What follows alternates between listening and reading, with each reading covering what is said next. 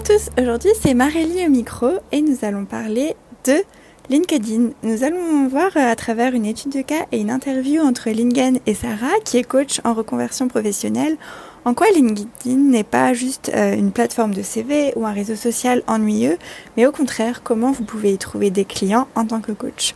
Donc c'est parti pour 5 astuces pour trouver des clients sur LinkedIn. Donc la première astuce, c'est d'assumer votre nouvelle activité en tant que coach.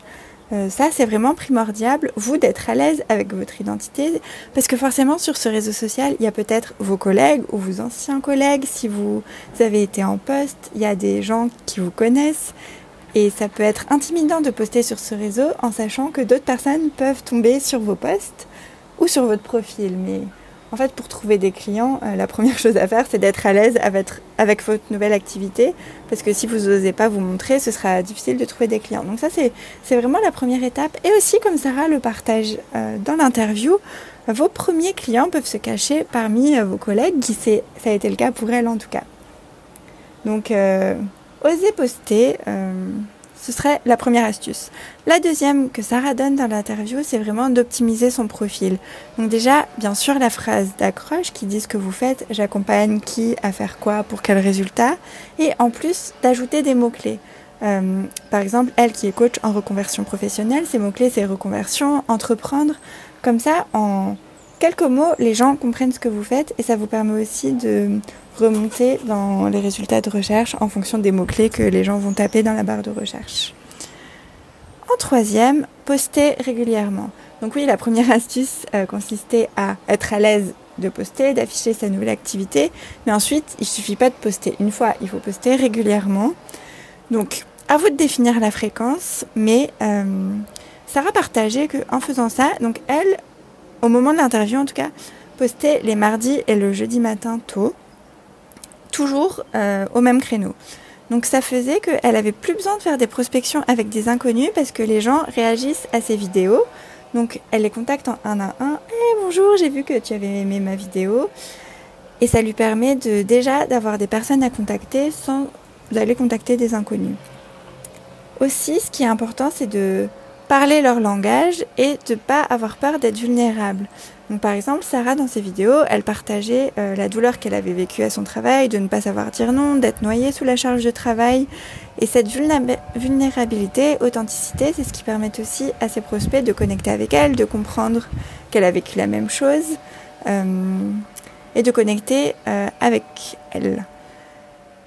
Et aussi, euh, un conseil que Lingen avait donné à Sarah, dont elle parle dans l'interview, et qui l'a vraiment aidé à savoir euh, si c'était approprié ou pas de parler de certaines choses sur LinkedIn, c'était tu peux parler de tout à partir du moment où tu n'insultes personne. Donc si ça peut vous aider aussi. Donc la quatrième astuce, ce serait d'être sociable. En fait, un réseau social, euh, dans le mot, il y a la partie sociale. Donc du coup, euh, elle disait qu'elle était comme, euh, elle était dans la vraie vie. Ça veut dire qu'elle est sociable, elle commente, elle va réagir au post avec des commentaires de plus de trois mots. C'est génial. Elle essayait de dire en quoi la publication était géniale et ce qui l'avait particulièrement touché. voilà. Et vous pouvez aussi réagir auprès de comptes qui ont les mêmes prospects que vous. Et donc suite à ça, c'est des personnes qui l'ajoutent euh, suite à des commentaires qu'ils voient sous des publications qu'elle a écrites et qu'ils ont appréciées. Et par exemple, Sarah partageait au moment de l'interview qu'elle avait environ 1000 euh, relations sur LinkedIn. Donc au début, c'est elle qui les ajoutait, mais à partir de 400 environ, c'est juste les gens qui l'ont ajouté et elle n'avait plus besoin de le faire. C'est les gens qui venaient à elle en voyant euh, ses commentaires sous d'autres publications et juste parce qu'elle était sociale, elle interagissait avec les gens, donc ça leur donnait envie euh, de la contacter derrière. Donc ensuite, la cinquième et dernière astuce serait de créer une routine quotidienne. Donc Sarah partage son, sa routine à elle, qui est de regarder les commentaires sous, ses publications et d'y répondre. Ensuite, d'aller voir ses messages privés, de même d'y répondre. De répondre aux demandes de connexion. De demander en ami, euh, en relation, euh, c'est les gens qui like ses publications.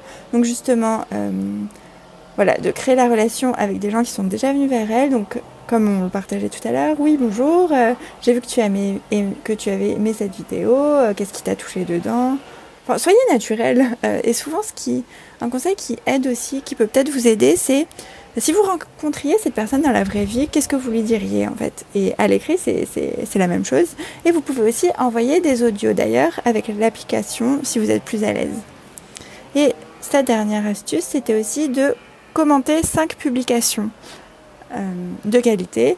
Donc ce qui veut dire pas juste le commentaire Eh, génial ta vidéo Donc voici les 5 astuces. Donc pour résumer, assumez votre nouvelle activité, optimisez votre profil, postez régulièrement, être sociable, créer une routine quotidienne ou euh, bi-hebdomadaire. À vous de voir si vous voulez y aller deux, trois fois par semaine. Tout dépend de vos objectifs. Mais euh, voilà, résumé en quotidienne. Et une petite astuce bonus, à lire le livre À la conquête de LinkedIn de Christophe Piton. Donc ça c'est un livre que Sarah partage et qui l'a beaucoup aidé. Donc euh, si ça vous intéresse de trouver des clients sur LinkedIn, ça peut être intéressant pour vous d'aller lire ce livre. Donc voilà, à vous les studios. Euh, n'oubliez pas que vous avez jusqu'à dimanche soir pour euh, postuler au programme Coach en mission à un tarif avantageux pour développer votre activité de coach sur les 12 prochains mois à votre rythme. Et si ça vous intéresse d'avoir euh, l'étude de cas dans son intégralité entre Sarah et Lingen, cliquez sous le lien en description. Bonne journée